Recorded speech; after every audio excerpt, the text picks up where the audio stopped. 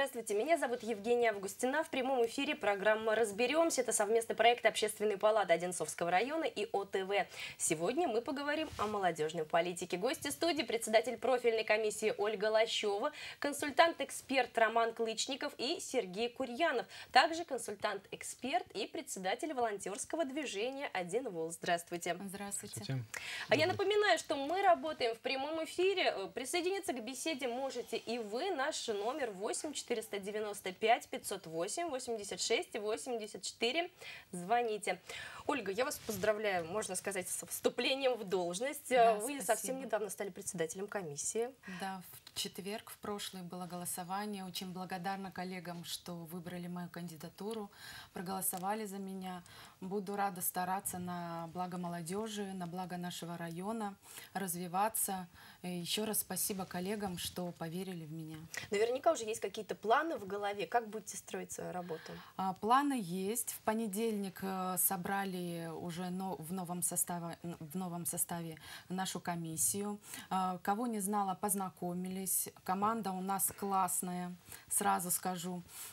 Вот, очень рада буду со всеми поработать и далеко идущие планы э, разработали на четвертый квартал 2018 года. А Вот, будем следовать им. А, Ну, про пенсионный возраст мы теперь все все поняли, его увидели. А что касается возраста молодежи, кто может считаться молодым человеком, Сергей? Ну, на данный момент э, от 14 до 35 лет. Это только возрастные рамки или, может быть, есть еще там какие-то критерии, так скажем, что вот этот вот размышляет как пенсионер, поэтому какая он молодежь. Или наоборот, а вот этот вот пенсионер, это бабулька, фору любой девчонке даст. Ну, по идее, пока такие рамки. То есть исключительно возрастом мы это регламентируем. На самом деле очень интересно, мне кажется, здесь сидят представители нескольких поколений. А, Ну, Роман Николаевич, у вас самый богатый жизненный опыт, вы можете сравнить молодежь разных, э, ну, так скажем, времен. В чем сходство, в чем отличие? Э, Ну, наверное, меня можно считать молодежью конца 80-х. Достаточно интересное время. Конец 80-х, начало 90-х. Ну и опять же таки, мне, я считаю, повезло. Я застал э, несколько, будем говорить так, эпох и их смену. И, в общем-то, начало, середина 70-х, я очень хорошо это представляю себе, и начало 80-х, середина 80-х. За это время несколько раз менялась молодежная политика, несколько раз э, менялась мода, увлечения. И, конечно же, рассказать есть о чем, если было бы больше времени, наверное, можно было бы рассказать. Но самое главное, чем, э, пожалуй, эм, то время запомнилось, это все-таки, несмотря на, ну, скажем так, различные мнения, все-таки самым ценным считалось э, люди, молодые люди. Потому что надо сказать, что если пожилые люди, это все-таки золотой запас, обеспечивающий некую стабильность общества, то молодые люди — это на самом деле будущее. Это будущие защитники, это люди, которые способны двигать вперед прогресс, науку, придумывать совершенно новые, иногда совершенно невероятные вещи, концепции. И, конечно же, к ним должно быть максимальное внимание. И, опять-таки, должна обеспечиваться преемственность между э, людьми более старшего поколения и молодыми людьми. То есть э, более старое поколение передает свой опыт, но не ограничивает, не держит молодых. Вот. А молодые, естественно, позволяют тем, кто старше, продлить свою молодость, если так это называется. Вот. И в конечном итоге, если уж мы тут пенсию упомянули, обеспечивают в том числе и ее.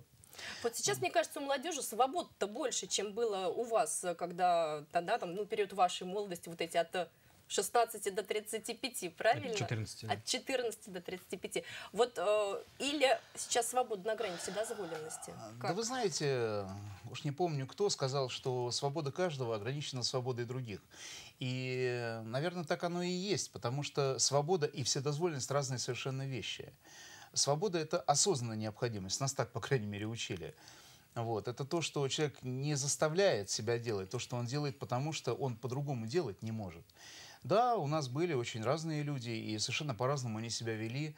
Вот. Причем степень этой свободы и, опять-таки, формы этой свободы, они менялись, начиная от 70-х и заканчивая началом 90-х. Это огромный диапазон, который сложно сравнивать. Вот. Совершенно разные были на тот момент в моде вещи, ценности, музыка, одежда, все что угодно на самом деле. Вот. Но, тем не менее, молодежь всегда оставалась молодежью. И мы должны поддерживать ее вот это стремление, не ограничивать, но, тем не менее, как-то определять те, будем говорить так, точки интереса, которые на сегодняшний день, к сожалению, определяем не мы по большей части. То есть молодежь увлекается вещами, которые, наверное, не стоило бы увлекаться, и мы не предлагаем ей чего-то более привлекательного. Альтернативы, потому, да. Да, альтернативы. То есть, если говорить про СССР, то СССР предлагал все-таки молодым людям э, довольно интересный досуг. Э, и каждый мог им воспользоваться. Для этого не нужно было быть богатым человеком, для того, чтобы, допустим, заниматься прыжками с парашютом, планером, там, например, или какими-то другими видами спорта. Можно было просто пойти в кружок, в секцию, записаться и в ней э, совершенствовать себя сколько угодно. Да, в конце концов, если ты не был способен к спорту, можно было читать книги, э, развиваться Сейчас совершенно... с этим все сложнее. Сейчас у нас есть интернет и социальные сети, в которых молодежь, собственно говоря, тонет. А, Сергей, вот, кстати говоря, касаемо ответственности за будущее. Ну, звучит пафосно, но тем не менее это так, да? Нынешняя молодежь это наше будущее. Вот, а молодежь эту ответственность понимает? Сложно сказать. За всю молодежь, Скорее да? всего, нет, чем да. А, Вы представляете организацию «Один Вол». Расскажите о ней, когда она появилась и чем занимается. Ну, она появилась 4 ноября 2016 года. Самое первое мероприятие наше было «Живу спортом» марафон на Лазутинской трассе. А, В основном мы помогаем администрации с организацией мероприятий, но у нас есть свои проекты. Один из них – «История наших героев», э, в ходе которого мы ходим по ветеранам, ну, заранее созвонившись с э, родственниками, и берем у них интервью, чтобы потом уже увековечить их рассказы о войне. Также «Экофест», который проходит у нас э, уже в третий раз на территории поселка Внесок. Мы убираем места отдыха жителей, которые, к сожалению, не следят за уборкой после своих, скажем так, шашлыков, как вот. Отдыха да. такого, не Отдыха, очень да. культурного иногда. Да, и э, недавно вот ввели акцию «Собери макулатуру, спаси дерево» э, на базе Бовдуховской, ой, господи, простите, э, Назаревской школы.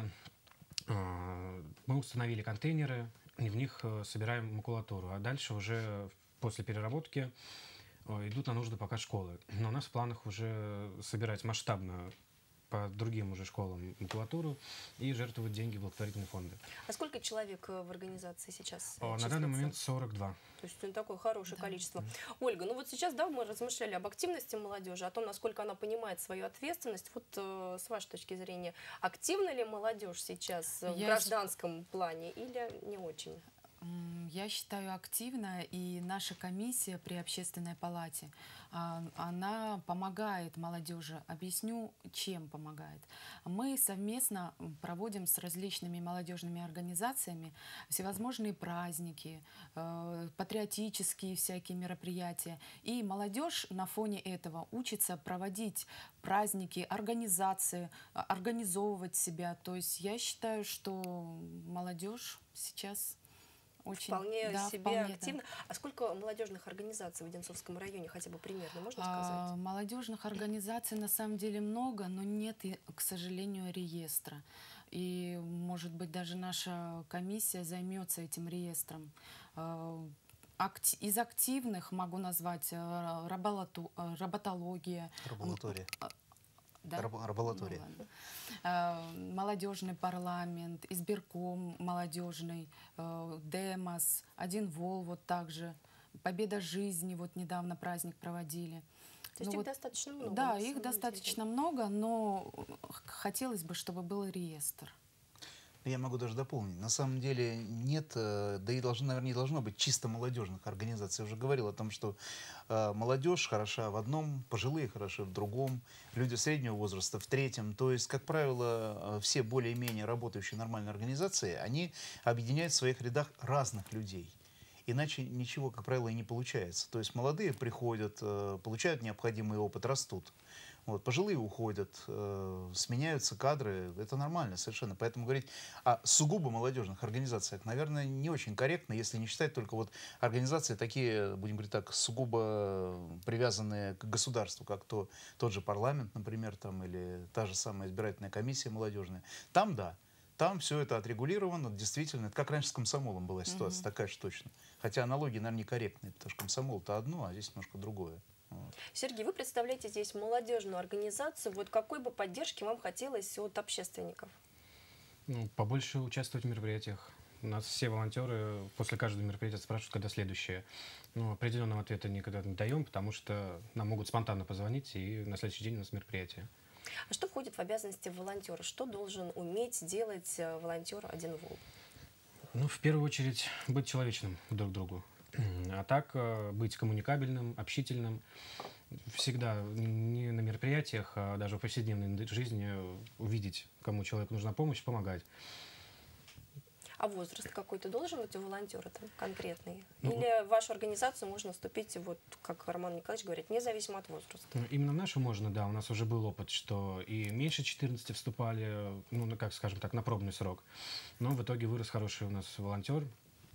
И можно, конечно, и старше. Мы рады всем.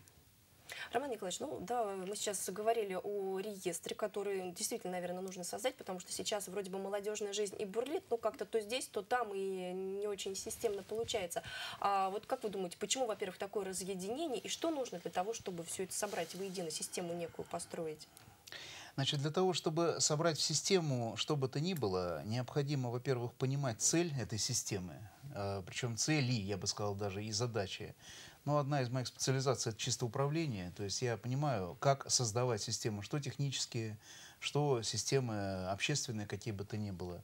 Ну, вот в частности, я сейчас э, являюсь э, в районе э, руководителем организации «За реальные дела», председатель исполкома. Вот. Это тоже система, система общественная. Точно так же работаю сейчас вот в общественной палате, насколько силы позволяют и время. Значит, э, конечно, первое – это понимание э, людьми, зачем им это надо, постановка задачи. Постановка задачи у нас может быть сугубо прагматической, например. Люди хотят ну, скажем, бороться за то, чтобы не было мусора на улицах, например, или чтобы не было на улицах, например, там, я не знаю, всяких безобразий. Вот. Люди могут, э, я считаю, что ничего в этом зазорного нет, э, хотеть э, делать карьеру, в том числе политическую, общественную карьеру, пожалуйста, они могут точно так же вступать в соответствующие организации и там продвигаться, приносить пользу. Это волонтерство в чистом виде, не более того, потому что вот. Значит, э, конечно, необходима, ну, все-таки нормативная база. Вот я тут э, выписал, на самом деле, огромное количество нормативных актов. Их э, больше трех десятков принято в отношении вот того, что с молодежью. Но, к сожалению, эти акты, они все очень разрозненные, и они не дают именно практических возможностей. Есть законопроект. Этот законопроект, он с 2016 года уже внесен, вот он 428344, Значит, э, это федеральный закон о государственной молодежной политике в Российской Федерации. Его следовало бы, наверное, все-таки сделать законом рано или поздно. Вот. В равной степени, как и нам здесь в районе и в Московской области в правительстве, тоже нужно было бы принять соответствующие законы.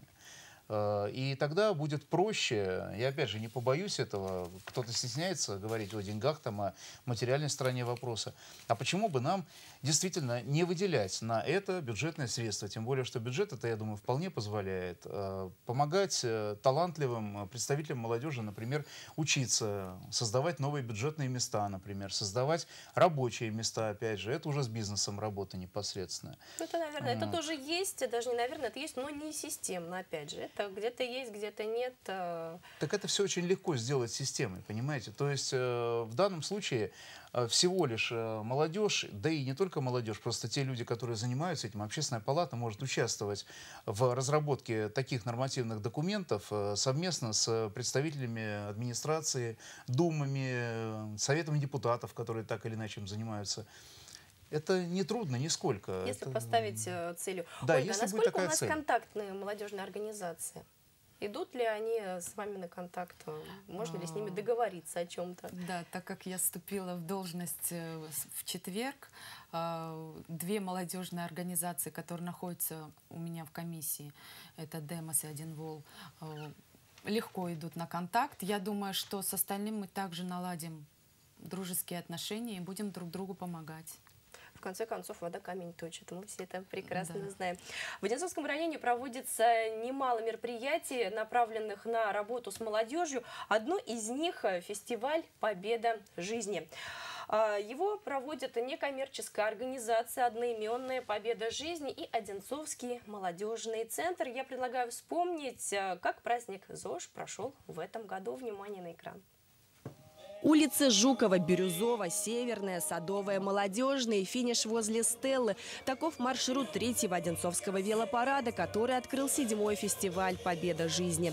Старт был намечен на 12.00, но сбор велосипедистов начался часом ранее. Поддержать велодвижение приехали и совсем юные любители двухколесного транспорта, и бывалые спортсмены, и дамы в самом расцвете лет. Но правила для всех едины и обязательны. старше 12 лет. Помимо этого, эм, основным правилом является, это, во-первых, исправность велосипеда по возможности, потому что на, на участке велопарада есть один, одно опасное место, которое мы очень много раз прорабатывали и по возможности прошлись так, чтобы конфузов не случилось. Конечно, желательно, чтобы участники заезда вели здоровый образ жизни, как и все организаторы фестиваля, или хотя бы стремились к нему. Алексей живет в Одинцово. Это его первый велопарад в родном городе. Об участии не раздумывал. Двухколесное движение надо поддерживать и развивать. Известно, зачем привлечь внимание общественности к эм, вопросам велодвижения и ну, здоровья вообще. Так вот. В Одинцово с велодвижением как обстоят дела? Удобно велосипедисты по Одинцову передвигаться? А, ну, я думаю, никак не обстоят, потому что ни велодорожек, ничего так особенно нет. Единственное, вот э, в Лазутинской- в Лазутинском парке только, да. Перед стартом медосмотр. Маршрут непродолжительный, но нагрузка на неподготовленный организм может оказаться ощутимой. Давление измерено, разминка сделана. Можно отправляться в путь. Yeah.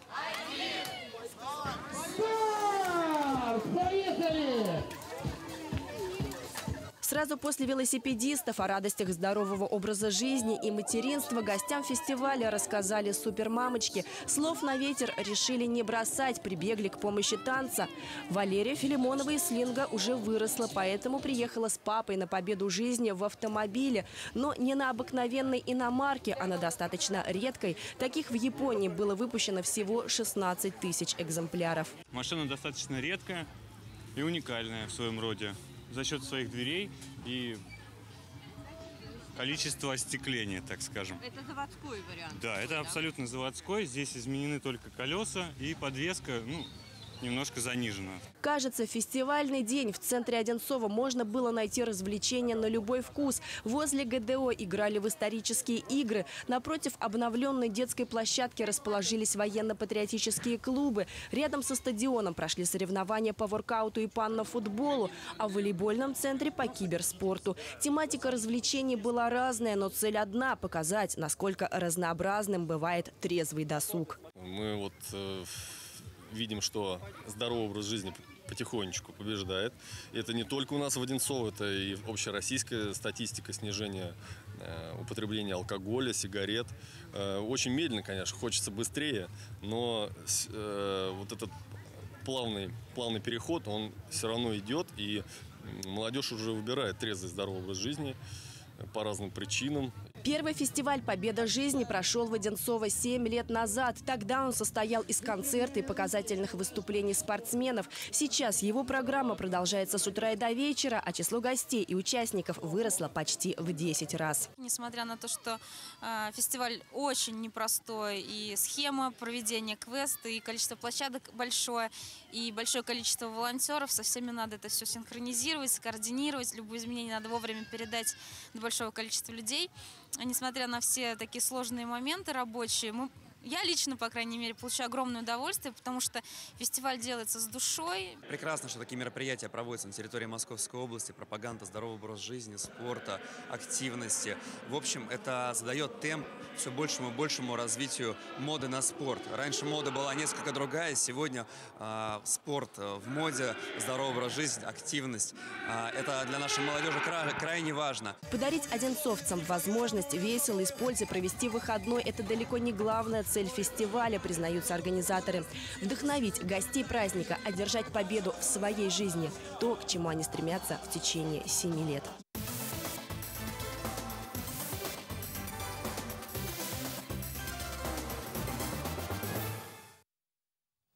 Прямом эфире ОТВ программа «Разберемся». Сегодня мы говорим о молодежной политике. В нашей студии председатель профильной комиссии Ольга Лощева, консультант-эксперт Роман Клычников. И к нам присоединяется Илья Корбут, также консультант-эксперт и руководитель военно-патриотической организации «Демос». Здравствуйте, Илья. Здравствуйте. А, я так понимаю, что название вашей организации несколько изменилось. А, да, у нас раньше мы назывались военно-патриотической организацией, но сейчас, поскольку мы расширили спектр своей деятельности, а, у нас добавились отделы, многие отделы. Отдел по культуре, отдел по военно-патриотическому воспитанию стал отдельно. Появился отдел СМИ, соответственно, ребята, кто хочет заниматься журналистикой, пишут как статьи, так и там сносочки какие-то, могут даже видео снимать. Вот, поэтому мы стали просто молодежной организацией, поскольку спектр стал широкий. Ну а современную молодежь, я думаю, такое понятие, как военная патриотика, больше пугает, чем привлекает. Ну, по той причине, то, что сейчас именно молодежь такая просто пошла. Но поскольку спектр вашей деятельности действительно достаточно широкий, может быть, вы расскажете про какие-то основные мероприятия, которые проводились? Э, да, конечно. Взять мероприятие отдела по военно-патриотическому воспитанию, мы совместно с военно-техническим обществом, которое работает в Москве, э, делали бронепробег. Э, Москва, Брест, Москва. Это две с половиной тысячи километров на броне, на советской технике, на старой, верхом, в советской форме просто. Доехать туда-обратно. Замечательное патриотическое мероприятие. Как раз это было к 22 июня, возложить цветы в Бресте. Вот, очень понравилось. Отдел СМИ, ну, просто освещает все, что происходит конкретно в районе. Вот, ну, иногда какие-то мероприятия затрагивают других областей. И отдел и отдел культуры, соответственно, делает культурные мероприятия, то есть э, делали вот мы выставку ArtSkill. Да, давайте расскажем про эту выставку поподробнее. Наш телеканал ее освещал, она угу. достаточно большое внимание привлекла общественности, так скажем, пафосно. Расскажите, что на ней было представлено? Э, на этой выставке было представлено множество работ, как свободных художников, то есть люди были там из Ивантеевки, из Москвы откуда-то, друзья, знакомые, а, представляли свои картины, так и целая организация, такие как Школа искусств классика, например. Вот. За вообще помощь в организации этого мероприятия большое спасибо Общественной палате, соответственно. Вот. Илья Паатович Савельев тоже очень сильно хорошо помог нам. А в последний момент, к сожалению, все мы так спохватились, ну, как всегда. Вот. Но получилось довольно-таки неплохо, интересно. Люди посещали ее, смотрели. Произвело неплохое впечатление на общественность. Илья, ну вот, да, опять же, у нас три поколения. С вашей точки зрения, почему молодежь настолько разрознена в Одинцовском районе? Почему нет какого-то единства? Ну, не будем называть это реестром, да, вот почему угу. нет какой-то такой общей организации? А, честно, я считаю, то, что общая организация не нужна, потому что всегда приветствовалась индивидуальность. Вот. Если сделать общую организацию, то... Нет, не общую организацию, э, нет взаимодействия, мне кажется, между вот этими молодежными организациями. То есть они все существуют, они все есть, они каждый индивидуально, но вот между ними никаких контактов нет. Хотя, если бы они в какие-то моменты объединялись для каких-то общих целей, то, наверное, эффективность работы была бы выше. А, естественно, основная проблема – это нехватка информации. То есть да. э, они мало освещают свои мероприятия, то есть там на какой-то узкий круг, там в своей группе ВКонтакте или в Инстаграме или еще где-нибудь. Надо увеличивать, просто пользоваться чаще соцсетями и вот, соответственно, привлекать как-то телевидение, стараться, э, чтобы про них знали и слышали. Вот золотые слова. В свое время предлагал, была идея как бы предложена мной в администрации Одинцовского района, собрать волейболки именно вот как можно больше молодых людей и с предложениями пожалуйста, тот же парашютный клуб, допустим, там, вот организация, допустим, того же Ильи, там, то есть много всяких. Каждый мог бы сказать, присоединяйтесь к нам, присоединяйтесь к нам. Собрали все, а дальше, как говорится, по интересам. Вот. Это могло бы сработать прекрасно. Ну, и считайте, это инициатива некая такая выдвинута. Кстати говоря, Ольга, как к инициативе относитесь? Как председатель комиссии по молодежной Я положительно, политике? да. Я, я вот еще раз повторюсь. Мы хотим э, в 2019 году, скорее всего, когда уже со всеми познакомимся, э, сделать такое масштабное мероприятие, чтобы все организации, вот даже в волейбольном, да, место позволяет, между друг другом познакомились. Можно в виде игры сделать или в виде каких-то батлов, конкурсов. Но зато будут все организации знать, что такие существуют в нашем районе. А, Роман Николаевич, я так понимаю, что у вас есть достаточно интересная концепция взаимодействия с молодежью. Вот каким образом будете э, работать э, с Ольгой и с молодыми людьми в общественной палате? Ну, скажем так, концепцию излагать э, в деталях, наверное... Времени не хватит. Будет, да, мало времени. Значит, мы не будем, мы уже работаем на самом деле, потому что я предпочитаю все-таки скорее дела, чем слова. Вот. И более того, эта концепция, она еще и поправляется самой жизнью, так или иначе. На сегодняшний день главным является привлечение как можно большего количества людей и с ними уже прорабатывается, что надо делать в первую очередь. Потому что первое, мы толком даже не знаем, а чего хотят. Мы придумываем какую-то игру, а она неинтересна. Зачем она нужна? Мы искусственное что-то придумываем. Другое дело, что если люди приходят и говорят, нам бы хотелось, нам не хватает, то только помогите вот в этом, то с этим можно уже выходить и на общественную палату, можно выходить и дальше, при необходимости обращаться к кому угодно, от спонсоров до, соответственно, волонтеров. Вот. Я считаю, вот это основа этой концепции, то есть доведение информации до людей, работа с ними. А дальше сами появляются лидеры, сами появляются те или иные кружки по интересам. Вот вопрос лидера, он здесь очень важен, потому что на сегодняшний день, это же не секрет, э, молодой человек, он э, в любом случае, я сам это все прекрасно помню, ты хочешь выделиться, ты хочешь как-то, извиняюсь, продвинуться. Как? У тебя возможностей для этого маловато, денег практически никаких нет, значит, надо либо разбить остановку, например, там, либо написать что-нибудь на стене, там, в общем, сделать нечто такое, что ну, совершенно не приветствуется и пользы от этого никакой, Зато только один вред. Да. А тут ему предлагают участвовать в чем-то действительно интересном. Вот как тот же самый бронепробег, к примеру. Вот. Да, это требует определенных усилий, расходов, организации и так далее. Они сами возьмут на себя организацию, отчасти и расходы. Но помочь им, в первую очередь, должно, я считаю, все-таки государство. Ну, в лице нашей, допустим, районной власти. Вот. Они вам и так помогают, за что им огромное спасибо. Но, тем не менее, все-таки я, пользуясь случаем, обращаюсь именно вот с такой вот просьбой. Ну и, естественно, ко всем, кто хотел бы помочь хотел бы, чтобы будущее было, чтобы молодежь росла действительно хорошая, нормальная.